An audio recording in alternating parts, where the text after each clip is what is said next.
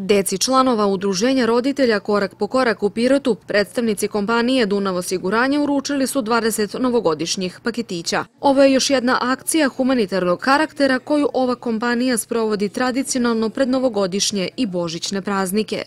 Kompanija Dunav osiguranje danas provodi akciju podele humanitarnih novogodišnjih paketića deci članovima udruženja Korak po korak.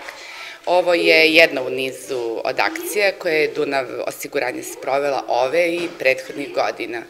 Pored ove akcije imali smo akciju podele paketiće deci školskog i predškolskog uzrasta u školi Sveti Sava, istoredno odeljenje u selu Izvor. Danas smo podelili 20 e, i u selu Izvor smo podelili 26.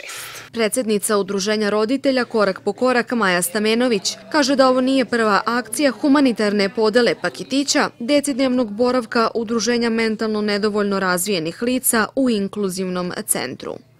Okupili smo se danas kako bi primili paketiće ovaj, kompanije Dunav osiguranje.